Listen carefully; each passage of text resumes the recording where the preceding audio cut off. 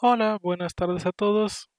En esta ocasión vamos a platicar de las ecuaciones trascendentales. Esta es la clase 7.2 y ya después de haber abordado el tema de las sucesiones recursivas, podemos ya empezar a platicar de las ecuaciones trascendentales, ¿no?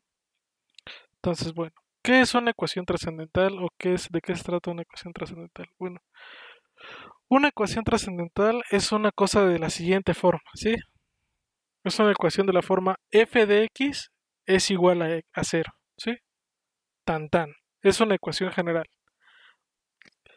Esto es equivalente a una ecuación trascendental, es lo mismo o es algo que normalmente a veces también le llaman como sacarle raíces a una función, ¿sí? A una función f.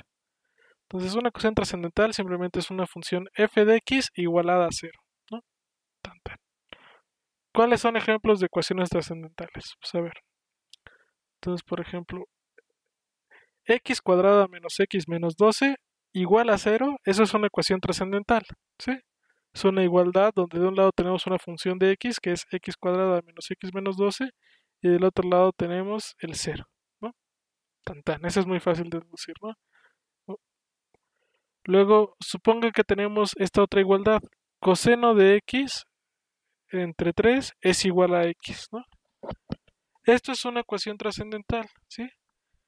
Si ustedes definen f de x igual a coseno de x menos 3x, igualar esto a 0 es completamente equivalente a esto que está acá, ¿no? Si quieren vamos a ser más explícitos con eso. Si tomamos y lo igualamos a 0, la ecuación tenida es equivalente a la primera. Equivalente a la original. Entonces, si toman esta de acá, coseno de x menos 3x igual a 0, pues, ¿qué va a pasar? Si, si lo igualan a 0, pasan el 3x de un lado, luego dividen entre 3 y les queda el coseno de x entre 3 es igual a x, ¿no? Otro ejemplo de otra ecuación trascendental.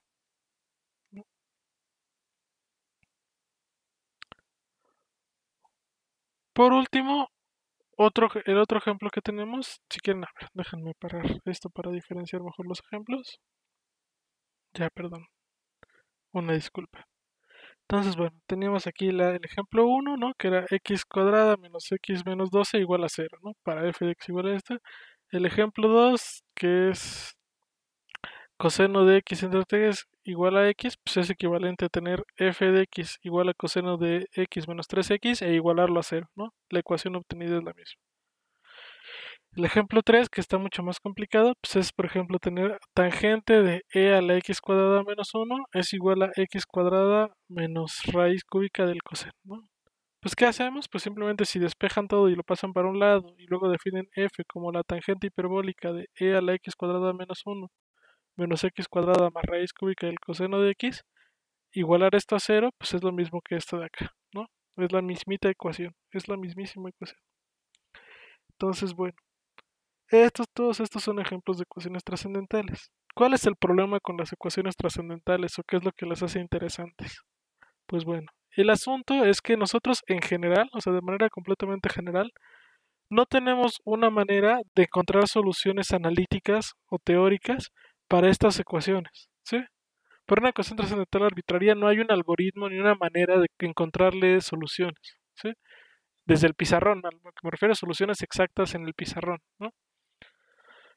Entonces, como estas ecuaciones no se pueden solucionar de esa forma, lo que tenemos que hacer es aproximar sus soluciones de manera numérica, ¿sí? Se resuelven de forma numérica. Entonces, en análisis numérico, la área de análisis numérico diseña eh, algoritmos para sacarle solución a estas ecuaciones, ¿sí? Para solucionar estas ecuaciones. Entonces, debido a la dificultad, obviamente, vean esta expresión, o sea, esta es muy sencilla, pero esta de acá ya es mucho más fea. Entonces, debido a la complejidad que pueden tener estas ecuaciones y a la forma tan horrenda que pueden ser todas estas funciones, los algoritmos pues no, los algoritmos para solucionar ecuaciones trascendentales, pues no todos van a funcionar, ¿sí? No todos van a funcionar para todas las ecuaciones. Va a haber unos que sí funcionen, va a haber otros que no, ¿sí? Muchos algoritmos también van a necesitar que la función cumpla otras características, ¿sí? Que no solo sea una función arbitraria, sino que sea derivable, que esté acotada, etcétera, etcétera, ¿sí? No, que sea continua, hay muchas características, ¿sí? Entonces, por el momento no vamos a ahondar en ello, simplemente les menciono que es posible que esto no funcione y que resolver esto es tan complicado que necesitamos ver varios métodos de solución, ¿no? Entonces, la clase de hoy vamos a ver dos clases de métodos de solución. Vamos a ver lo que se llaman las iteraciones de punto fijo y vamos a ver otra cosa que se llama el método de la bisección. Entonces vamos a empezar con las iteraciones de punto fijo. Vamos a suponer que nosotros podemos descomponer a la función f de x como una función f mayúscula de x menos x. Por ejemplo, para el ejemplo 1 que tenemos acá arriba, f mayúscula sería x cuadrada menos 12, ¿no? Porque podemos pensar esto como de x cuadrada menos 12 menos x, ¿no? Esa sería la función f mayúscula. Entonces, para ese caso, resolver la ecuación f de x igual a 0 es equivalente a resolver f mayúscula de x es igual a x. ¿Y eso qué quiere decir? Que eso es equivalente a encontrar los puntos fijos de la función f mayúscula, ¿sí? Una función es un punto fijo si solo si f de x es igual, bueno, x es un punto fijo de f mayúscula si solo si f de x es igual a x, ¿no? Entonces, bueno, para resolver dicha ecuación o para resolver una ecuación de esa forma, lo que podemos hacer es proponer un esquema iterativo mediante la siguiente sucesión recursiva. ¿sí? xk, vamos a llamarlo, va a ser un x inicial arbitrario, si k es igual a 1, y luego va a ser la función f mayúscula aplicada a, k menos, a xk menos 1 si k es mayor que 1. Aquí vamos a aclarar con x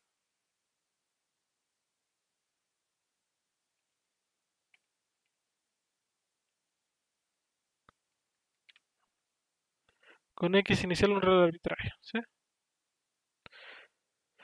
Entonces, mediante esta sucesión recursiva, el késimo el tenemos un x inicial y el siguiente elemento es f mayúscula aplicada al anterior para un punto inicial arbitrario. Este es el método del punto fijo para resolver una ecuación trascendental. Entonces, bueno, ahora sí empieza la parte de los ejercicios. ¿Cuál es el primer ejercicio? Pues el ejercicio 1 es que ustedes tienen que escribir una función mi iteración que tome como argumento una función f, un x inicial y un n que construya y regrese los primeros n términos de la sucesión de la iteración de punto fijo de la función f.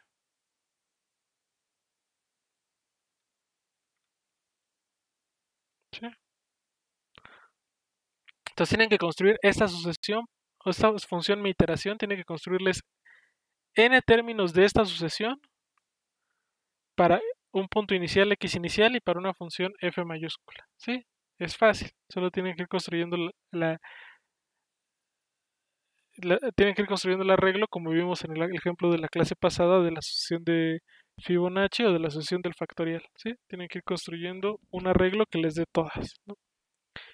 Ya que tengan esa función de mi iteración que les construye el arreglo, ¿qué tienen que hacer?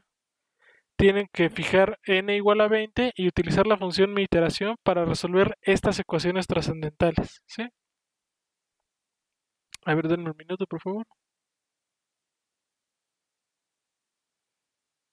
Ya, una disculpa. Entonces, bueno, van a fijar n igual a 20 en el ejercicio 2 y van a resolver estas dos ecuaciones trascendentales, ¿sí? menos 2 séptimos de x más 3 es igual a 0. ¿sí? Y la otra es coseno de x menos x es igual a 0. ¿sí? Quiero que las utilicen la iteración de punto fijo para construir una sesión recursiva que la resuelva. ¿sí? Y ya que, ya que vean si esto funciona o no, si el método converge, o sea, ya que lo intenten resolver, pues que me digan cómo funciona, ¿no? Que me digan si el método sí converge, si la convergencia depende de cuál es la condición inicial que se toman, si n igual a 20 son suficientes iteraciones, etcétera, etcétera. ¿sí? Entonces, recuerden que antes de que quieran intentar ir y resolver estas ecuaciones, lo que tienen que hacer es encontrar la función f de x. ¿sí? A ver, denme un minuto, por favor. Ya, perdón, una disculpa. Entonces, bueno, ahí vayan, peleen con estas iteraciones y vean si realmente pueden construir algo que converja a las soluciones. Resolver esta ecuación es muy fácil y saber cuáles son las soluciones es muy fácil. Las soluciones de estas son más complicadas, ¿sí? Entonces, bueno, ahí trabajenlas, vean qué pasa con el método y si necesitan conocer la solución exacta o si tienen algún problema, diríjense a nosotros en los canales y los vamos a atender.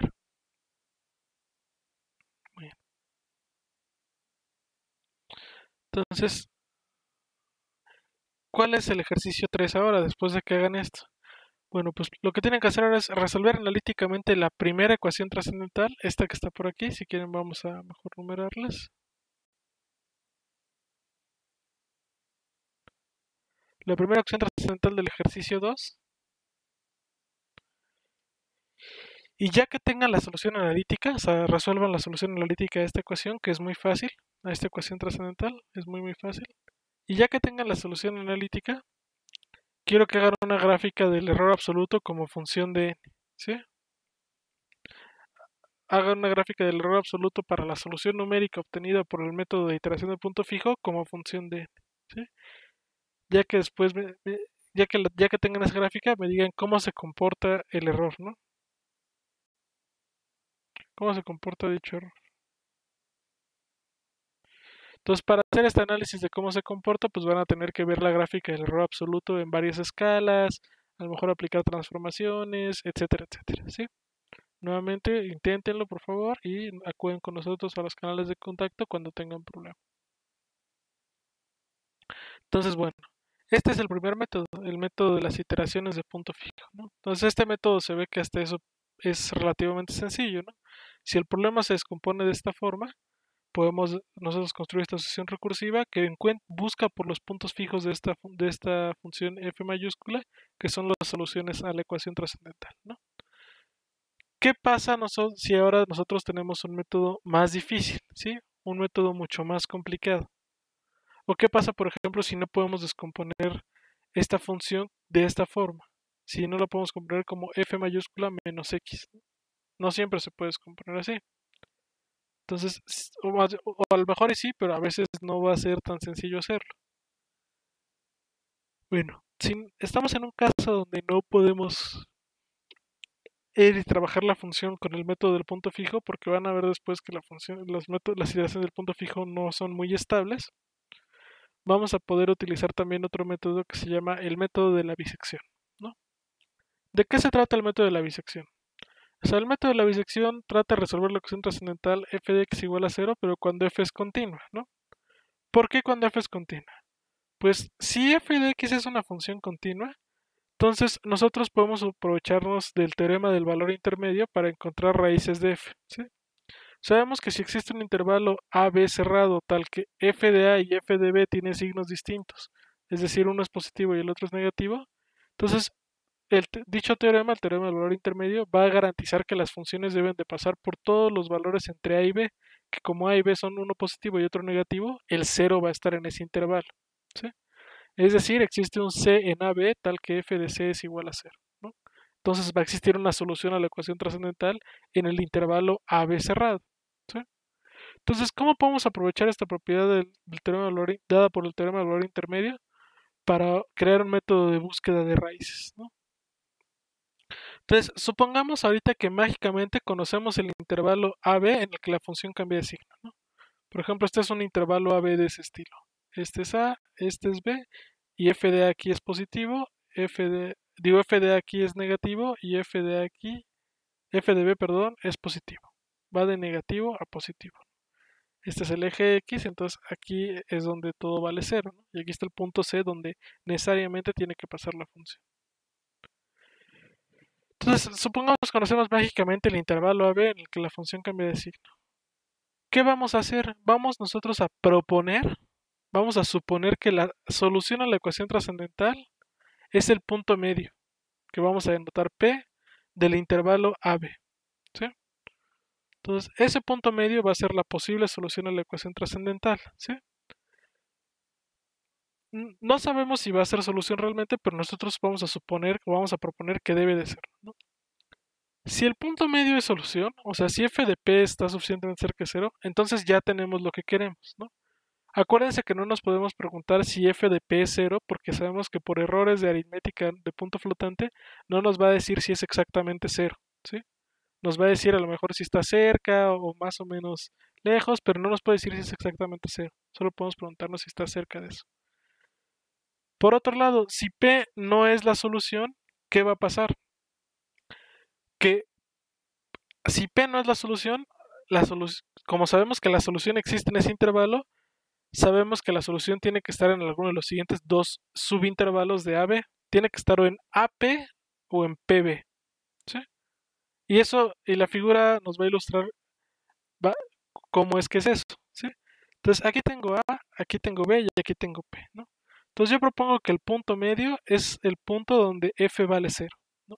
Entonces aquí se ve claramente que f de p no es 0. f de p es este valor que está acá, ¿no?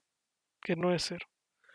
Sin embargo, eso deberíamos nosotros, como, f como p divide el intervalo ab exactamente a la mitad, entonces hay dos casos. O la raíz está acá en ap o la raíz está acá en pb. ¿Cómo puedo saber en dónde está, si está en AP o en PB? Bueno, pues eso es lo que ustedes tienen que deducir en el ejercicio 4. Supongan que P, el punto medio, no es solución de la ecuación.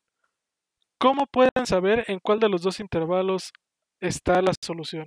¿AP o BP? Entonces, ¿cuál es la sugerencia para que encuentren la regla para saber si está en AP o en PB? Pues que tienen que recordar que si f de p no es 0, entonces f de p va a ser negativo o positivo. ¿sí? Entonces tienen que utilizar el signo de f de p para saber, comparado con el signo de f de a y de f de b, para saber en dónde está. ¿sí?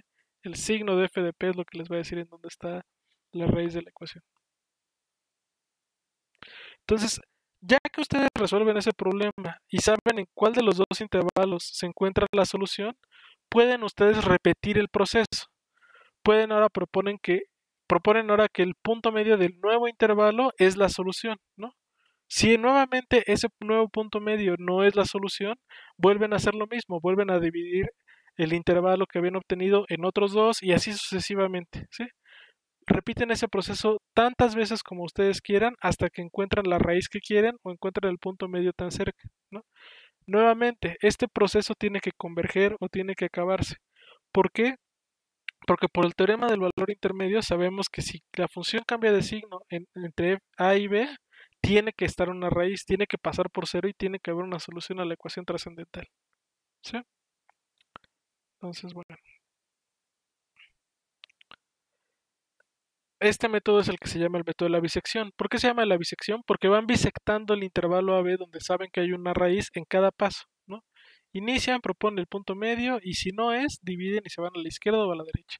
Y luego con ese intervalo que les queda lo vuelven a bisectar y así sucesivamente. Así hasta el final de, el proceso y donde obtienen la raíz. Entonces, bueno. ¿Qué tienen que hacer ustedes con esta información que les acabo de dar? Pues bueno, hay dos ejercicios. El ejercicio 5 dice que tienen que implementar una función que se llame mi bisección, que tome como argumento una función f un número real A y un número real B, que implemente el método de la bisección en un intervalo AB para, una para la función f. ¿no? Ya que lo tengan, quiero que prueben su función con las funciones del ejercicio 6. Y quiero que contesten la siguiente pregunta. Si este método necesita más iteraciones para converger que el ejercicio 6. ¿sí?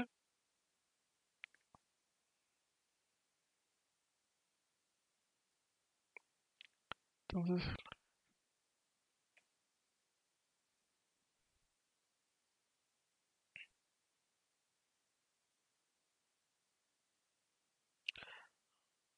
Aquí me está faltando añadirle el valor de n. Así que haga esto haciendo n iteraciones.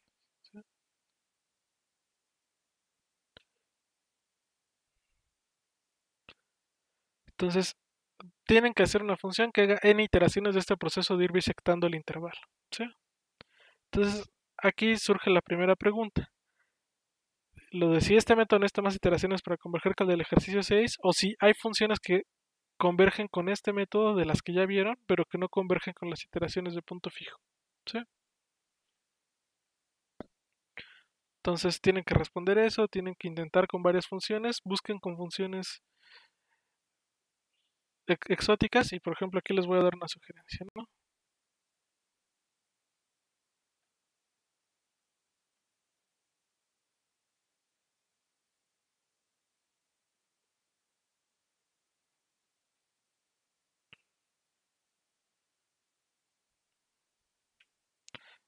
Las sugerencias vean si la función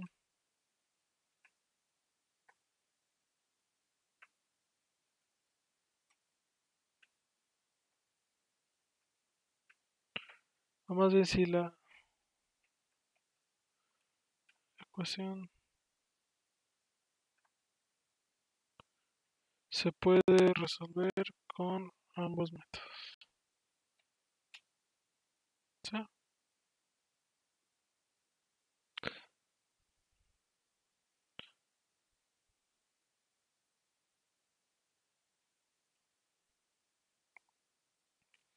¿Cuál es el ejercicio 6? Pues el ejercicio 6 ya después de que vean si, las, si esta función de 2x menos 3 sí converge con ambos métodos y que vean como si las del ejercicio, perdón, aquí obviamente no, es el ejercicio 6, sino es el ejercicio 2, para que vean si las del ejercicio 2 también funcionan, etcétera, etcétera.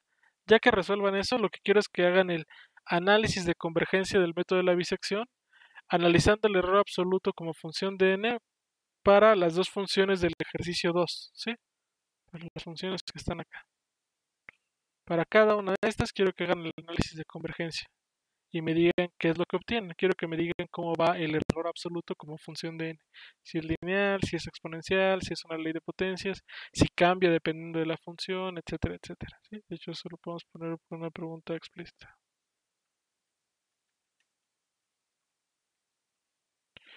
Entonces, el método más veloz cambia entre ambas funciones entre ambas ecuaciones. Entonces, bueno, eso es lo que tienen que hacer. Tienen que hacer una comparación de cómo funciona el método de la bisección con cómo funciona el método de iteraciones de punto fijo. Entonces, bueno, la visión general. ¿Qué es esto de la visión general? Pues vamos a platicar un poquito de los métodos que acabamos de enseñarles. ¿sí? Entonces, bueno, tanto el método de la bisección como el método de la de las iteraciones de punto fijo son algoritmos muy lentos a la hora de converger. Y además de que son muy lentos, las iteraciones de punto fijo no se pueden hacer con, para cualquier función. ¿sí? Como lo debieron de haber visto en el ejercicio 6, o si no, pueden probarlo con funciones extrañas y van a ver que no funcionan todas las funciones. Entonces, estos dos algoritmos son más algoritmos para darles clase y ejemplificarles cómo se puede hacer, ¿sí? o ejemplificarles algoritmos sencillos para hacer esto, pero no son realmente métodos para solucionar estos, esta clase de problemas. La siguiente clase vamos a ver un método mucho mejor que sí se utiliza muy generalmente para resolver ecuaciones trascendentales. ¿sí? Entonces, bueno, eso sería todo por el momento. Esto es la clase 7.2. Es suficiente para que ustedes eh, se rompan la cabeza y saben que cualquier problema que tengan pueden entrar en contacto con nosotros por los, el correo o cualquier otro canal. ¿sí? Muchas gracias, cuídense mucho, hasta luego.